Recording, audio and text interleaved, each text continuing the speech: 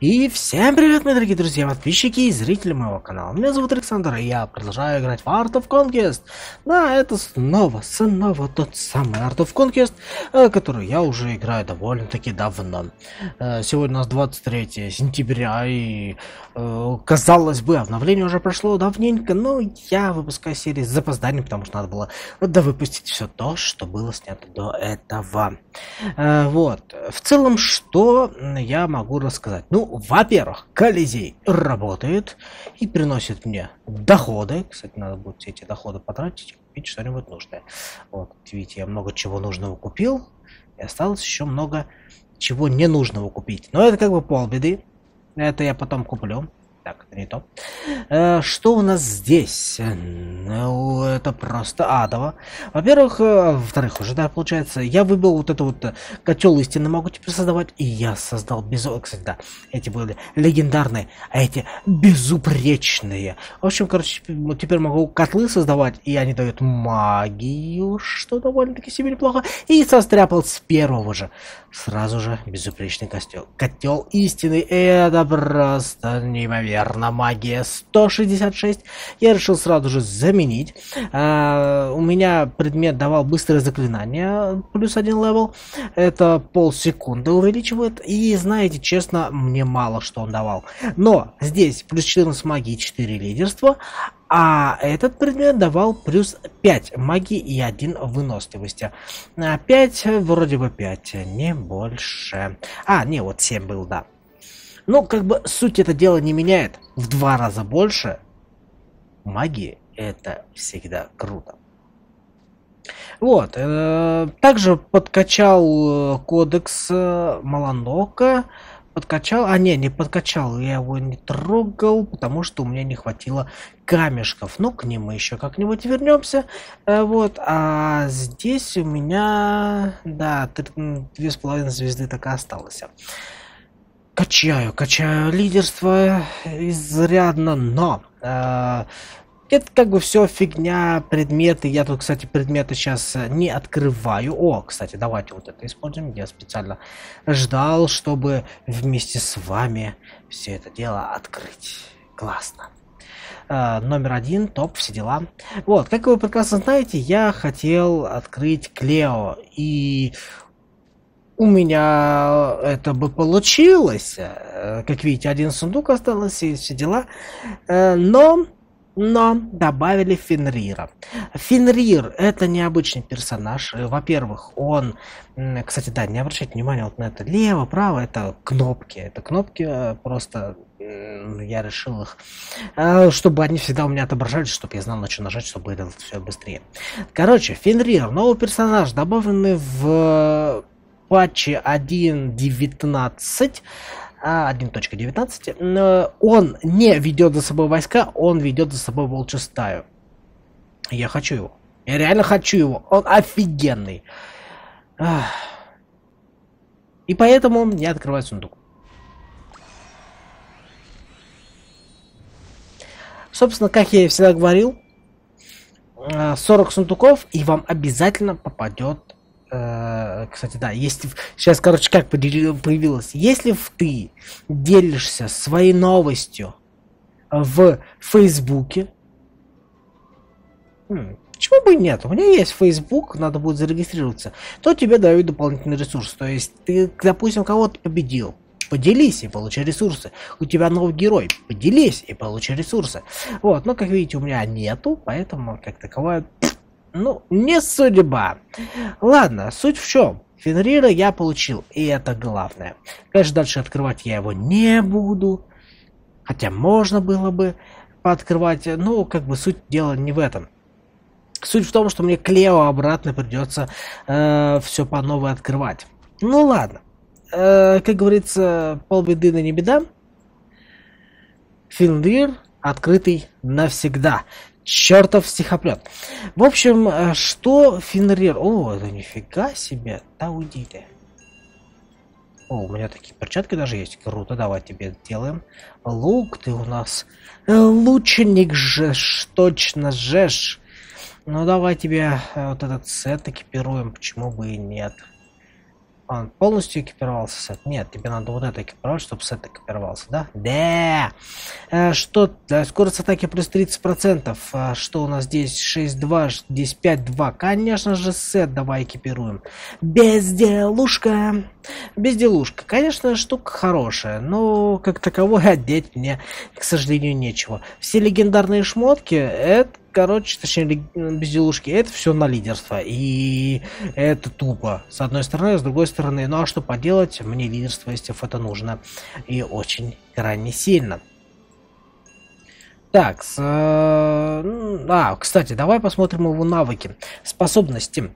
Стая. Э, это вызывает волков, окей. Молот. Сила повышает урон. Жажда крови. Магия повышает восстановление здоровья. Э, толстая шкура. Э, здесь ничего не дает. Инстинкт зверя. Зверя. Повышает скорость атаки волков и ужасных волков. Кстати, ужасный волк это он сам, а волки это кого он вызывает. Командование увеличивает скорость атаки. Отлично. Инстинкт зверя. Это я смотрел. Э, укрепляет свою связь с волками, это понятное дело. Ну и здесь, собственно, он превращается. Суть в чем? Что это сейчас было? Я смотрел, что ему нужно. Ему нужна атака. Для того, чтобы базовые атаки волков и ужасных волков наносят 62 э, бонусного урона. Больше атака, больше урона. Э, магия. Что дает магия? Жажда крови. Так как волки, они могут восстанавливать здоровье, и чем больше бонус, ну, чем больше магии, тем больше э, восстанавливает здоровье. То есть этот скилл, сколько дополнительного дает урона, столько дополнительного дает восстановление здоровья. Есть смысл качать магию, так как она будет повышать э, все это дело. Лидерство. А что нам дает лидерство? Если вкачать вот этот э, скилл, э, повышает скорость атаки волков, соответственно, командование увеличивает скорость атаки. И, конечно же, в этом есть смысл. Поэтому, с одной стороны, в этом нет смысла, а с другой стороны, магия вполне неплохая штука для него, э, точнее для него и варгов. Э, конечно, не менее важно это то, что лидерство. Теперь, благодаря тому, что у меня есть Фенрир, а именно дополнительный герой, у меня есть э, возможность еще одного героя надеть на лидерство. Оденемся, посмотрим. Э, решил состряпать предмет, э, а именно божественный предмет. Ну, понятное дело, чтобы у него хоть один аксесс был более или менее адекватным. То есть лидерство, магия, почему бы и нет. Хотя, конечно, можно состряпать и котел. Магия, лидерство. Хотя можно состряпать и то, и другое, и, соответственно, будет 12, допустим, а, плюс 4 а, это будет 16, и 10 э, плюс 4, э, и плюс дополнительно даст выносливость. То есть, с одной стороны, в этом есть смысл даже.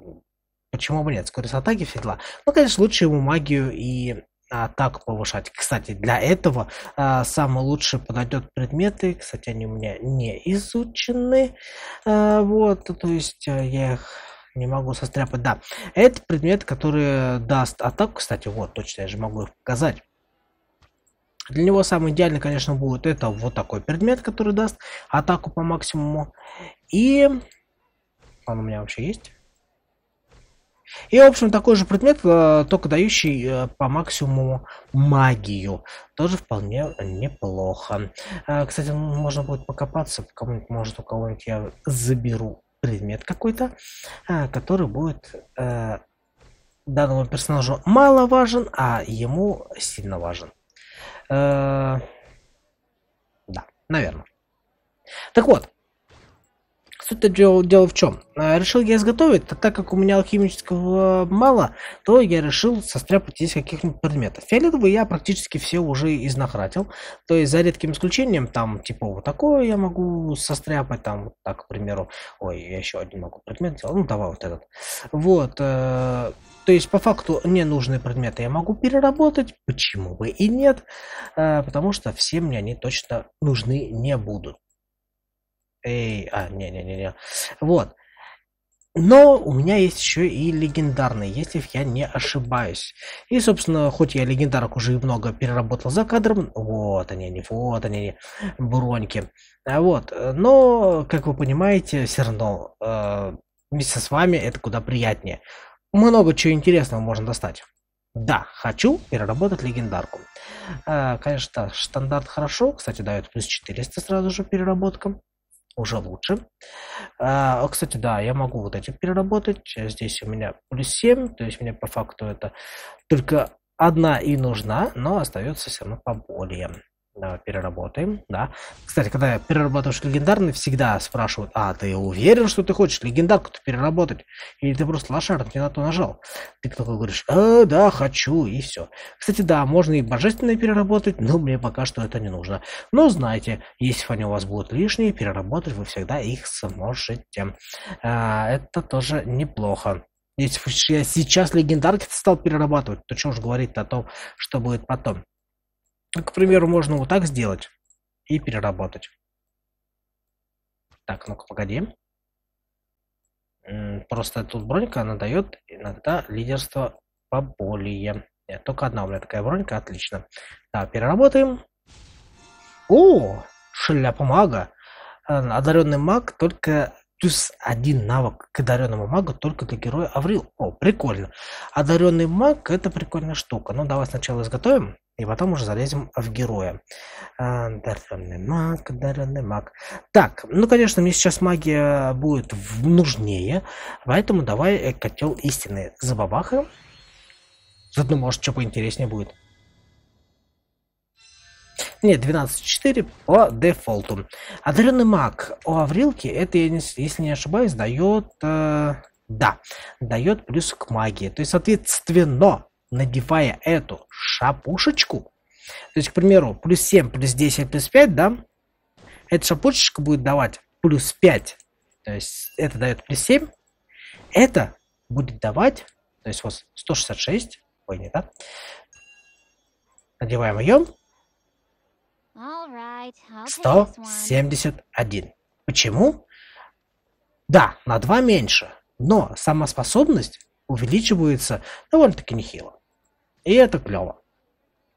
То есть тоже в этом есть смысл. А, все остальное в минус идет, да, я не спорю. Но ей-то зачем все остальное?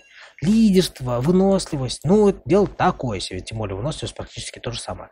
Зато магия, тот самый ее базовый скилл, который ей нужен, увеличен. И это здорово. 171 магия с ее способностью еще и плюс 20% эффективности от ледяных способностей, это классно.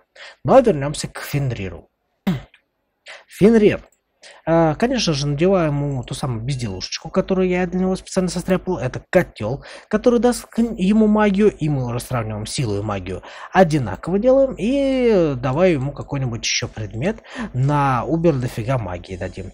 Хотя нет, давай на убер дофига атаки найдем. Убер дофига не будет, поэтому максималка это плюс 4 всего лишь навсего. Это все, что у меня есть. Хм, а может, что лучше есть? Ну, конечно, если, конечно, получше покопаться, то ты всегда найдешь что-то лучше. Плюс два дополнительных лидерства лишним не будет. Кстати, лишним не будет. А почему тебе плюс два дополнительных лидерства не сделать?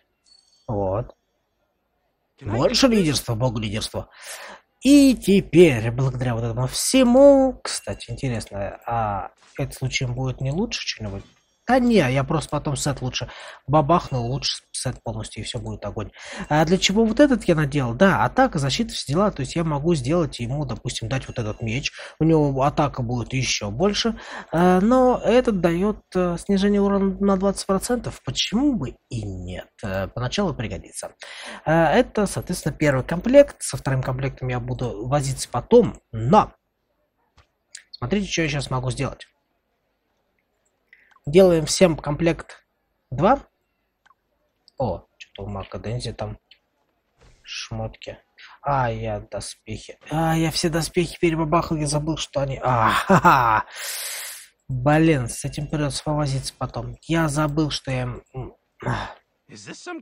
Я поторопился с доспехами, да, не спорю. Я забыл, что у них у всех эти доспехи были, были надеты. Еще у кого? Вот у тебя тоже. Ну, вот здесь как таковой я потерял лишь копеечки. То есть было 6, стало 5, все дела, короче, это вся фигня. Э, так, еще раз переключаем. Один. Будьте аккуратнее, собственно, вот, вы прекрасно видели, как это бывает. Вот, и теперь Фенриру просто переключим пока что первый комплект. И заходим в войска. О, 108. 100, мать его, 8. Соответственно, я могу что? Нанять еще одного мечника. Да, лишним мне будет уже 12. Это клево. Это просто клево. Теперь переключаем всех обратно на одиночку. И все, огонь. Теперь, что касается Фенрира. Конечно же, первый level это говно, плюс способностей нифига нету, его нужно качать. Э, кстати, у меня тут сундук появился, так что, ой. Э, так что есть смысл его открыть. Э, кстати, да, это разовая акция, как вариант, когда вы смотрите видео, она уже закончилась. Да не, когда вы смотрите видео, конечно, закончилась. Потому что тут, тут осталось 9 часов, 9 с половиной час, часов, даже просто уже 9 часов. Поэтому, как таковое, уже да. Но это была разовая акция при введении героя. А что я хотел сделать? Прокачать Фенрира до хотя бы 30 левела. А почему я все эти сундуки не открываю? Потому что следующий конкурс будет у нас... Э, короче, мы к нему сейчас вернемся. Не, красивый арт. Красивый, мать его, арт. Мне нравится. Ну вот так. Так, 31. Что за фигня? Вот, 32. Все отлично. Вкачали. А, да, еще немножечко их осталось, но как бы, конечно, для Клео я больше их храню, но у Клео будет а, своих. А, кстати, да, я пытался тут а, пару сундучков открыл, думаю, а вдруг откроется, будет прикольно. Не выпало э, такие вот пироги. Э, так, когда-нибудь я получу Вайслова девятый ранг, будет здорово, но когда это будет еще явно не скоро, но это все как бы фигня. Э, теперь нужно раскидать скиллы Фенриру и уже посмотреть, э, на что он способен непосредственно в битве даже. Вам интересно? Мне лично интересно. Ах ты, блин, здоровый волк зависит от уровня и выносливости Фенрира. Мы выносливость тоже. Ему все пара... Это, короче, как Варион. Ему, Вариону, все параметры нужны. Также, собственно, Фенриру они тоже нужны. А, да уж. Да уж, неплохо. Неплохо. А, Фенрир жертвует 30% своего здоровья, чтобы воскресить погибшего, погибшего волка. Но если вкачиваешь а, связь с волками, он жертвует на 20% меньше здоровья. То есть от 30 минус 20% это не 30, а, то есть это будет не 10%. Это от 30% будет на 20% меньше. То есть, по-простому говоря, это будет минус 6%, э, по крайней мере, я так думаю, что это примерно, да, будет минус 6% ну, от 30%, 10% это 3, а 20 это 6, ну, думаю, логично. Ну и также повышает урон. И вот тут я сейчас задумался, а что же лучше? Молот, который бонусный урон дает э, больше в цифрах, или э, связь с волками, который даст в процентном соотношении урон и плюс меньше расход. Э, полную луну я не хочу качать, так как, э, во-первых, он тратит э, ходы, назовем так, и во-вторых, он будет, э, ну хотя, может, давайте изучим, господи, э, заодно посмотрим скилл, а для чего, инстинкт зверя, кстати, ну тоже почему бы нет, а для чего я это изучил, ну потому что у меня всегда есть специализация номер два, где я смогу уже протестированную версию сделать так как надо. Ну вот. Посмотрим, посмотрим, что это как-то где. Как я буду тестить Фенриера? Да все легко и просто. Нападаем на какое-нибудь говно мелкое и закидываем чисто его. Кстати, да, у нас сейчас идет ивент, э, ивент по нападению на вот такие корабли, как помните, был э, ивент, или не помните, а, наверное, я не снимал в этот момент, но, в общем, был ивент такой, типа, э, надо было убивать големов, о, кстати, вот, на жертву, давай нападем на него, и я вам покажу особенности. Вызываем Фенрира, И смотрите, показатель войска. То есть кого-нибудь вызываю, он дает показатель войска. С ним же я не могу вызвать войско, потому что Фенрир не вызывается. Так, защитный режим. и атакующий. Давай защитный режим, потому что ты нужен именно в защитном режиме. Давай посмотрим, как ты вообще работаешь. Да, сила маловато, не спорю. Но давай посмотрим. Вызывает волков, волки сразу же рванули в бой. Собственно, благодаря тому, что у них есть сильная атака. Ага, он защитный режим, то есть он дальше не бежит. Но если я юзаю этот скилл, он бежит вперед. И начинает атаковать вместе с ними. Атакует э, сам герой чисто только слабых, либо слабых героев, либо слабых персонажей. То есть он оббегает вокруг и, соответственно, атакует именно их. Но здесь, как видите, он э, стоит впереди. Как видите, атакуют они и сразу же хиляются. Потому что, собственно, магия, скилл, все дела. В общем, это все вкачано, и теперь они могут хиляться. Но, несмотря на то, что он слабенький такой весь был из себя, то есть по показателям, он спокойно всех раскидал, и никто даже не повредился. Э, очень, очень необычный герой, честно. Непривычно то, что он не вызывает, э, то есть не может вести за собой войска, но сам факт того, что он вызывает воинов своих личных, назовем так, то есть волков, это, конечно, уже клево. Давай соберем ресурсы. И давай глянем на кого-нибудь поинтереснее. Поинтереснее. Что у нас здесь? Ой, как далеко бежать до тебя. Лететь, хотел сказать. Ну ладно, погнали, сейчас кого-нибудь найдем. Вот до лесопилки побежим и кого-нибудь найдем. Кстати, да. А, этот ивент же все еще продолжается, типа многолетие, все дела. О, погоди. У меня ж тут дофига кого можно завалить. Вот, ивент продолжается, многолетие, все дела. Я не трачу, я ничего не покупаю, у меня сейчас 3000 монет. И я уже так посчитал, я смогу вот этот вид стак купить. И не только. Вот, э, могу еще немножечко здесь купить. Ну вот, ну суть в том, что еще время движется и все хорошо. Кстати, я же купил этот э, скин, обложку. Давай его используем. Очень нашли данного героя. Отлично. Обложка будет у меня тусоваться в инвентаре. Кстати, я получил какое-то письмо. Давайте посмотрим, что за письмо. Uh... First journey. War sandwich. Короче, мой английский есть хорошо. Если вы поняли, к чему это вообще, будет здорово. Но, что-то по ходу дела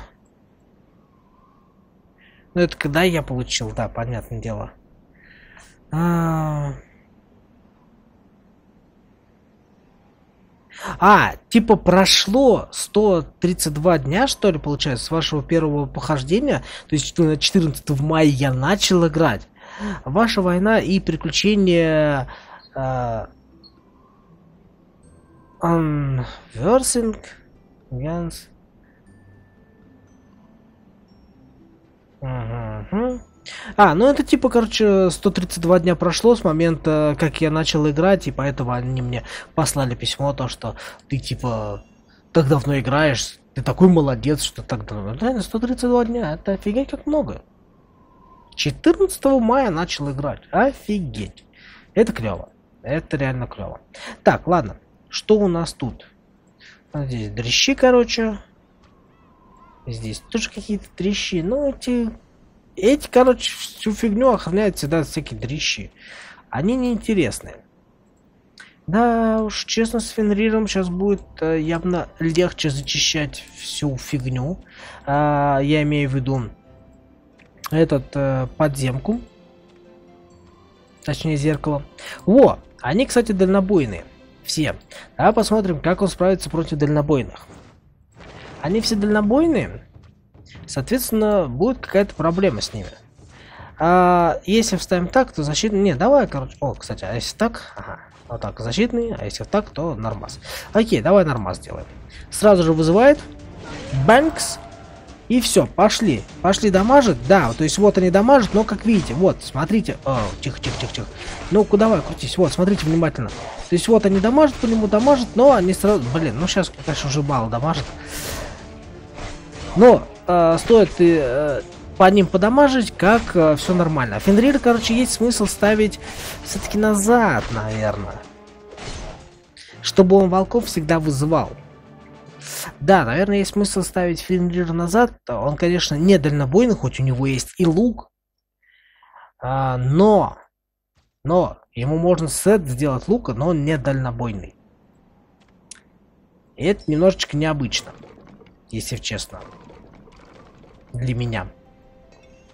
О, давай еще один, еще одни дальнобойные. Так, Финарюша. Давайте в защитный режим переводим. И, собственно, погнали. Сейчас он вызывает сразу же волков. Смотрите. То есть вот он будет... Ага, ты пошел в бой все равно. Нет, не пошел в бой. То есть вот, защитный режим у них идет. У Фенрира. И, соответственно, вот, волков начинают дамажить. И сразу же отхиливаются. Все благодаря тому, что у меня и шмотки хорошие, дающие магию, и дамаг у них вполне приличный, и войско, конечно, все-таки дрещевое, против которых я так воюю, ну согласитесь. Э, надо бы потестить на все-таки более мощных, как волки все-таки задействуются. Э, кстати, да, интересно, что у нас тут в итоге у тебя сейчас... Ой-ой-ой-ой-ой-ой-ой-ой! Э, что ж такое, я не жму то то. Точнее, жму не то. Вот, э, да! То есть с каждого удара по 972 здоровья восстанавливает. Это, конечно, огонь. Это, конечно, просто огонь. Интересно, сколько здоровья у волков. Но сам Фен... Фенрир 70 тысяч хп. Да ты гонишь. Да ты реально гонишь. Так, сет. У него скорость атаки. Интересно, это передается на волков скорость атаки или же нет? То есть, соответственно, тогда тебе нет смысла делать сет на какой-либо скорость атаки, снижение урона и так далее. То есть, давай тебе вот это вот сделаем. Да, я сейчас э, как такового не складируется, но атака-то больше стала. А, было у тебя там выносливость, да, тебе давало? Да, тебе давало выносливость. Тогда, соответственно, можно вот это вот экипировать тебе вот атаки еще больше стало. Потом можем вот это тебе, допустим, экипировать. Э, экипировать. Не, э, давайте все-таки магию. А, магию. Нет, что-то, кажется, смотрю, одно лидерство тебе дается. Э, четыре. Не, давай все-таки тебе магию так и оставим. Здесь так и оставим. А шматецкий. А, ну вот это тоже неплохо. И атака, и выносливость. Ага, а это круче. Здесь атака, выносливость, короче, и все сразу. 3, 2, 5, 3, 2, 5. Ну да, как бы в этом плане это есть смысл оставить, потому что здесь все реально. Все и сразу дает. Так что все огонь. Ну вот, собственно, атаку немножечко увеличили, и, соответственно, они будут дамажить уже получше. Ну, давай потестим, кого-нибудь найдем поинтереснее. Помощнее. Короче, решил все-таки сходить сюда. Да, вот уже поинтереснее. О, нет, тут башни, это ни, нифига не интересно. Ну, давай посмотрим. А, чем, опять-таки же, хорош Фенрир? Если фон проиграет, он не теряет войск. В этом плане он, конечно же, хорош. И тут не поспоришь. Ну, давай посмотрим, как ты против башенок подтянешь. Давай посмотрим. Вызывает волков. Вот, а, ну башня-то здесь дерьмового левела. Это я уже привык, короче, по вот этому так. Ага. Защитный режим. Все, он пошел атаковать. Волки, волки бегут сразу его защищать. Это клево. Это клево, это клево. Э, в таких ситуациях можно будет прожать ему э, превращение, но, как видите, даже в такой ситуации, когда сила совершенно не равна, по цифрам, по крайней мере, э, Фенрир спокойно справляется и, как видите, хиляется. Не хиляется прожимаем, и теперь он хиляется. Вот, вот, вы все прекрасно видите, насколько хил офигенен. Напоминаю, у него 70 тысяч хп. 70, мать его, тысяч хп. И я ему половину, ну хорошо, хорошо, треть отхилял его за несколько ударов. Из 70 тысяч, вы можете посчитать это, и я вас верю. Это клево. Это клево. Фенрир офигенен. Честно, мне нравится.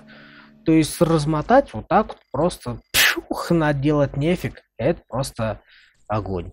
О, заодно подземку прошел. Классно.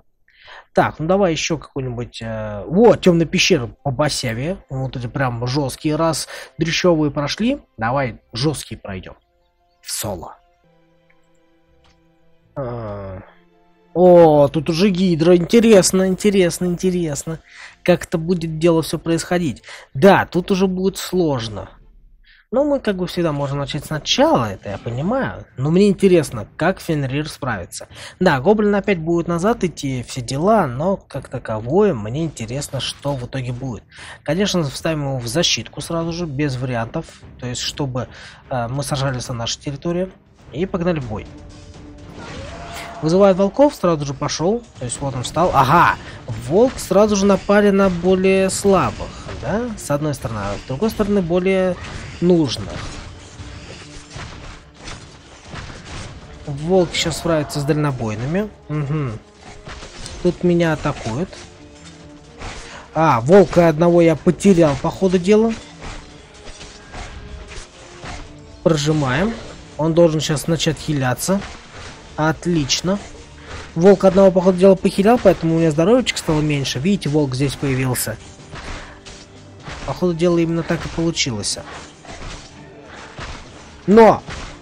Смотрите, что он тут, мать твою, творит. Он просто выносит всех. Кто мощнее его в 10 раз, по факту. Ну, не, ну согласитесь.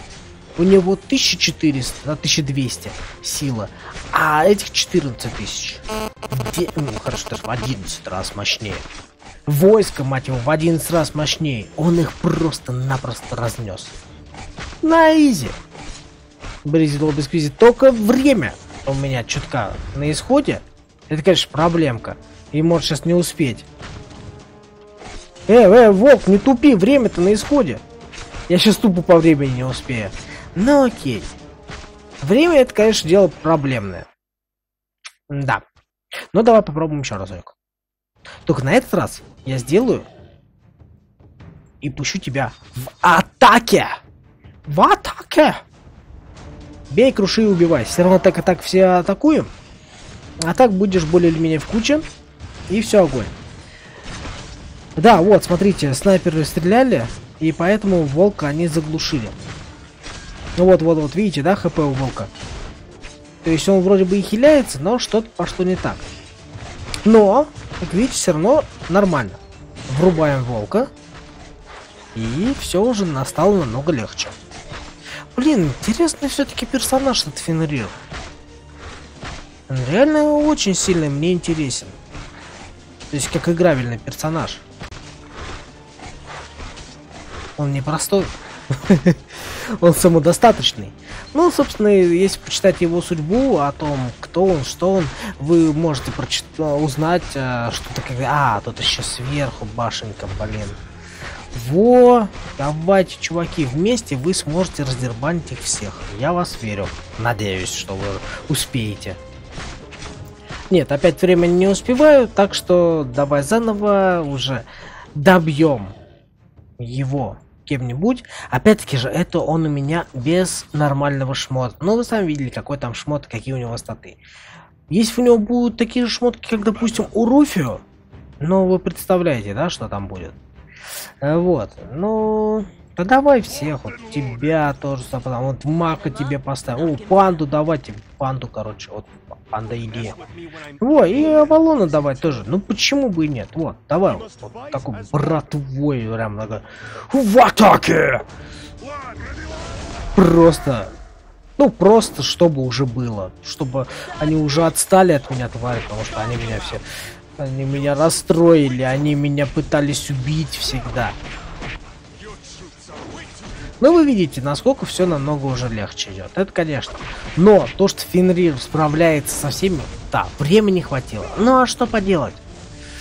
Это такая беда бедовая. Вот, Гримс опять-таки сейчас уже помрет. А Фенрир столько раз выживал, и все было нормас. Да. Хорошо экипировать, и он будет очень даже офигенен.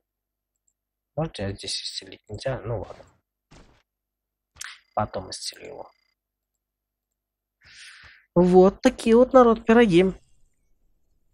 Не ожидал. Не ожидал, что будет настолько герой мощный. но я рад, что я его купил. Да, конечно, э, Клео прикольный персонаж, прикольный маг, но я теперь хочу одеть Фенрира хорошо, чтобы у него были хорошие шмотки. Э, кстати, вот допустим взять Гримса. Гримс, у тебя шанс критического удара, да? То есть, соответственно, если я тебе сейчас э, дам другие шмотки, да, есть смысл все это дело переделать. Э, к примеру, вот сделать такой же лук, как у Мака, 12,6. Соответствие дно но вы сами видите, насколько будет лучше. А, потом, конечно же, сет типа шапка все дела сделать. А, кстати, а что это, если фульный сет? Я сделаю шанс отравить противника при атаке. Интересно, а отравление на волков будет распространяться? Это будет считаться за атаку? Или же нет? Хм дальность атаки, но дальность атаки тоже не нужна, так как он не стреляет. Хотя может считается дальность атаки то, что видите, он, когда волки отошли, он подошел ближе. Но может это будет считаться дальностью атаки. Интересный персонаж э, с интересными, э, с интересной судьбой. О, атака-то смотрите какая символическая.